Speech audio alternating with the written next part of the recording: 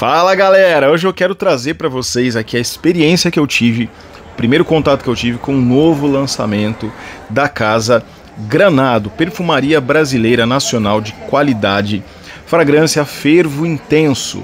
Galera, esse perfume, ó, para começar, tá? É, ele está sendo né, comercializado né, nas lojas Granado e site a 260 reais, tá? Frasco de 75 ml, fervo intenso. Ele é um brinde, galera a vida e uma ode à cultura vibrante do brasileiro, né? Porque ele tem essa vibe de celebração, né, de calor, de afeto, de referências da nossa cultura, especialmente pelas notas de cachaça e de cacau. É isso mesmo, tá? Então a gente vai ter uma fragrância aí, um oriental gourmand, que traz algumas notas muito interessantes aqui, como a nota de mirra, nota de sândalo, a nota de cachaça, tem notas amadeiradas, o toque do cacau, uma abertura mais fresca. Fica uma fragrância mesmo com um toque gourmand e esse toque picante, caloroso, né, alcoólico da nota de cachaça. Agora é o seguinte, uma referência para vocês saberem quem conhece, gente, e é fato, tá? Tinha já ouvido isso e fui lá confirmar. Para quem conhece perfumaria de nicho, perfumaria importada, outras perfumarias, a né, Granada é sensacional, mas a fragrância tem uma boa lembrança, uma boa vibe, né? Não que tenha sido inspirada, as notas são bem diferentes, mas no perfume Angels Share de Killian. Uma fragrância que ali, na verdade, traz a nota de conhaque, tem sensações ali de mel, baunilha, eu sinto um pouquinho de maçã, canela, né? E essa nota alcoólica de conhaque, no caso ali do Angel's Share. Aqui, no fervo intenso, a combinação vai trazer uma sensação parecida.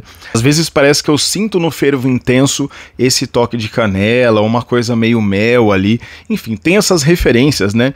De bebidas brasileiras, né? bebidas com toques adocicados, notas alcoólicas.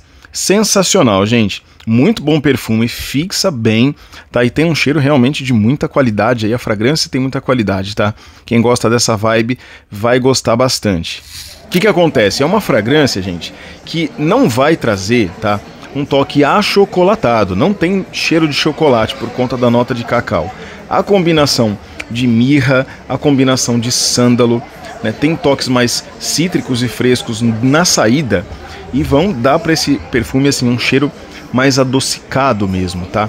Um cheiro envolvente, adocicado, gourmand, com nuances gourmands, mas a nota de cachaça aqui ela é realmente é o rei aqui, brilha no perfume e traz uma fragrância bastante envolvente, calorosa, adocicada e, na minha opinião, compartilhável, tá? E junto com o Fervo Intenso, a gente também tem um outro lançamento, foram lançados juntos esses dois perfumes aí, né? Foram lançados juntos. O outro é o Esplendor. O Esplendor é um oriental ambarado, né?